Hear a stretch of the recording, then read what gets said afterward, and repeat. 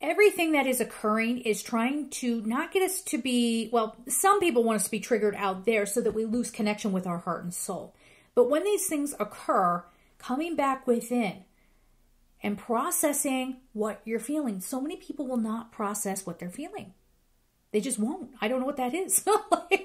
but this is a time for restoration on a soul level because we are being asked to be carriers, to be carriers of light. Light blended, okay, with our both our energies, light and dark, okay? So it's not the self-righteous, I'm in the light because I avoid life and therefore I'm better than everybody else. Uh, you're gonna be blasted right off that stupid mountain. I hope not. But like, oh, something's gonna take you down, and and you're gonna need to come down and learn to be human again. But yes, we are being asked to get back in touch with our hearts, and I would even say prioritize one another.